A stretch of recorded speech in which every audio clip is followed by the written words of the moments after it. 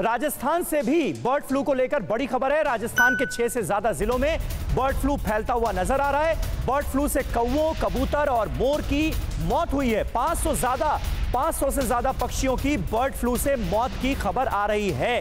तो राजस्थान में अलर्ट जो है वो किस तरह का जारी किया गया है। वहाँ से क्या जानकारियाँ सामने आ रही हैं? ये जानने के लिए हम सीधे रुख करता है।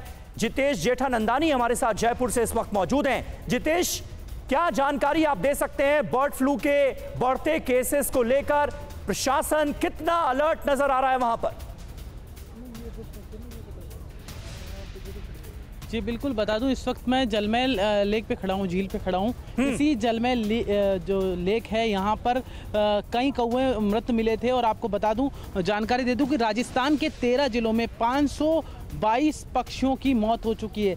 सबसे ज़्यादा 118 पक्षियों की मौत झालावाड़ में हुई है और बानवे से ज़्यादा पक्षियों की मौत कोटा के अंदर हुई है और 86 पक्षियों की मौत हुई है बारह के अंदर। उसके बाद चौथे नंबर, तीसरे नंबर पे आता है जयपुर। तो जयपुर में 50 से ज़्यादा कौओं की मौत हुई है। आप तस्वीरें देख सकते हैं। इस वक्त जलमैल लेक में हूँ और यहाँ पर अमूमन बहुत बड़ी संख्या में पक्षी, प्रवासी पक्षी दिखाई देते हैं, क्योंकि वेदर ऐसा है कि प्रवासी पक्षी यहाँ पे आते हैं। लेकिन आज डरे और सहमे हुए नज़र आ रहे हैं। पक्षी इस पानी के अंदर कम नज़र आ रहे हैं। आप तस्वीरें देख सकते हैं। अमूमन यहाँ पर बहुत ही अच्छे पक्षी नज़र आते हैं प्रवासी पक्षी। और जो टूरिस्ट है राजस्थान में टूरिस्ट जयपुर में आता है तो जलमेल ज़रूर देखता है। और जलमेल में इन प्रवासी पक्षियों की अटखेलियाँ इसी इसी लेक के अंदर जो टूरिस्ट है वो देखने को आता है। यहाँ पर जो टूरिस्टों की सुरक्षा करते हैं उन्हीं से बातचीत करते हैं कि कल ये बता रहे थे हमारे को शेखावत जी जी। यहाँ पर प्रवास कुछ कौओं की मृत मिले थे इनको। शेखावत जी कल आप बता रहे थे मुझे कि कौवे मृत मिले थे कहाँ पे मिले थे यहाँ पे कैसे कैसे आपको जानकारी मिली? कल हम यहाँ राउंड पे गए थे हमारे साथ जवान थे तो हम देखे थे तो कुछ पक्षी यहाँ मरे हुए थे और उनको देखा था वहाँ पड़े हुए थे मरे पड़े थे। फिर आपने किसको फिर मैंने जा करके जो एक अपने यहाँ पे आए थे उनको बताया था और उनको दिखाया था फ़ोटो वगैरह लेके गए थे और बाइट भी किया था सबने बताया था। टीम आई थी यहाँ पे टीम आकर के गई थी। सैनिटाइज किया था और सबको कोरोना के बारे में बताया था कि कोरोना भी खत्म नहीं हुआ उसके बाद में बीच में ये ठीक है ठीक है जितेश मैं आता हूँ आपके पास। अलग अलग राज्यों से जल्दी जल्दी अपडेट लेते हैं। इस वक्त एक अहम खबर मध्य प्रदेश से भी है। मध्य प्रदेश में बर्ड फ्लू को लेकर अलर्ट जारी कर दिया गया है। यहाँ अब तक कम से कम तीन जिलों में बर्ड फ्लू यानी एच फाइव एन वन जैसे वायरस के संकेत मिले हैं क्योंकि इंदौर में अचानक एक सौ कौवों की मौत हो गई। मंदसौर में 170 तो खरगोन में 15 कौवों की अचानक मौत के बाद सरकार और प्रशासन ने अलर्ट जारी कर दिया है। मंदसौर के कौवों के परीक्षण के बाद यह क्लियर हो गया है कि मौत बर्ड फ्लू के चलते ही हुई है। मकरंद काले हमारे साथ मौजूद हैं, उनसे हम ताज़ा जानकारी लेंगे। लेकिन उससे पहले यह अहम जानकारी कि मध्य प्रदेश में भी बर्ड फ्लू को लेकर अलर्ट जारी कर दिया गया है।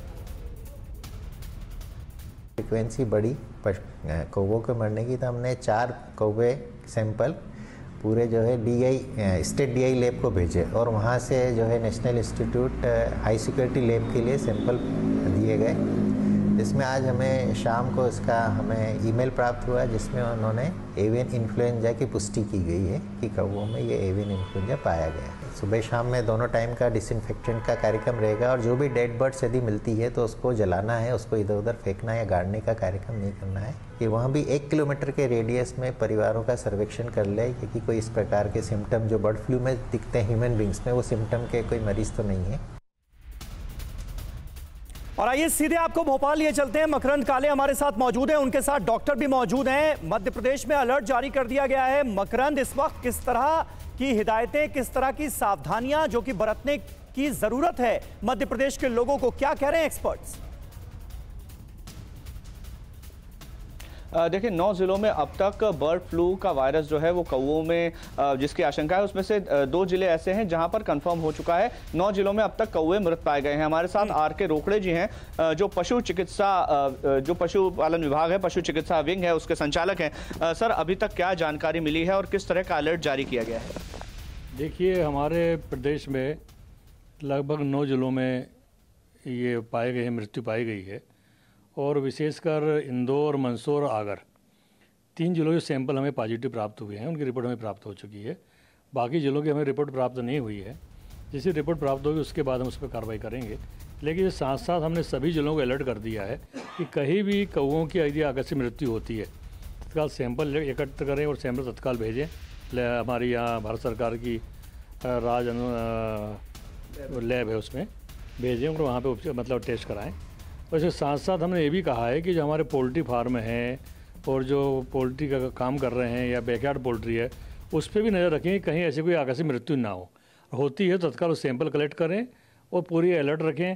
प्रवासी पक्षी भी आए हुए हैं प्रवासी पक्षी के भी बारे में थोड़ी जानकारी रखें कि उनकी कोई मृत्यु ना हो। तो कितना खतरनाक वायरस है अभी तक? इसमें मुर्गियों में फैलने का या जो आपका विभाग नज़र किस पर रखे हुए है कि और ना फैले? अगर अगर बात करें तो जहाँ तक मेरे समझ की बात है मैं समझ रहा हूँ कि जो वायरस है कौन पाया इतना घातक अभी नहीं है क्योंकि विशेषकर जो मुर्गियों में पाया जाने वाला वायरस अलग होता है और ये पाया जाने वाला वायरस अलग है इसलिए अपने कहें कि यह बहुत ज़्यादा घातक इतना घातक अभी है नहीं। ठीक है पोल्ट्री इंडस्ट्री को कितना खतरा है इससे?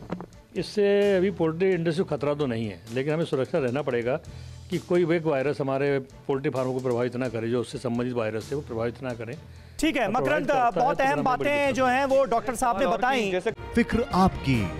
सोमवार से शुक्रवार रात नौ बजे सिर्फ़ टीवी नाइन भारत वर्ष पर।